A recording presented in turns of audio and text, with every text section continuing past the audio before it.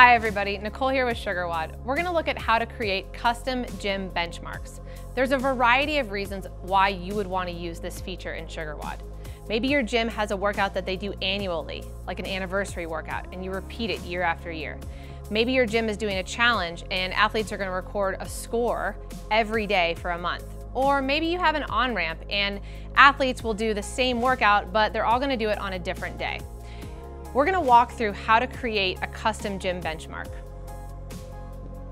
I'm gonna start by going to workouts and then gym benchmarks. Once I'm in the gym benchmark screen, I can see benchmarks for my gym that have already been created, and I'll come down to add new benchmark. Today, I'm gonna create a workout that we're gonna do every year, and it's gonna be the 12 days of CrossFit Roots, and we'll do it around the holiday season. So I'll type in for the name 12 days of CrossFit Roots. Under the description, I'm gonna paste the workout. And then for my scoring, it will be one set of time. It's a for time workout. I'll save this new benchmark. And while it's saved in my custom benchmarks, I still need to program it into my calendar for the week. So I'll go to the workouts dropdown and I'll go to programming calendar.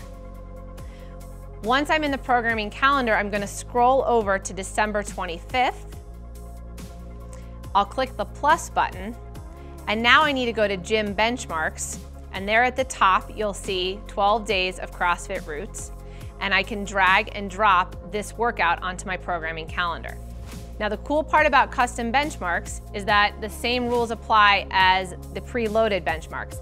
SugarWOD is still gonna calculate PRs, it's still gonna record the history of the workout, and it's gonna send your athletes that cool confetti after they PR a workout. Use custom benchmarks if there's any workout that you're gonna repeat frequently because it will save you time.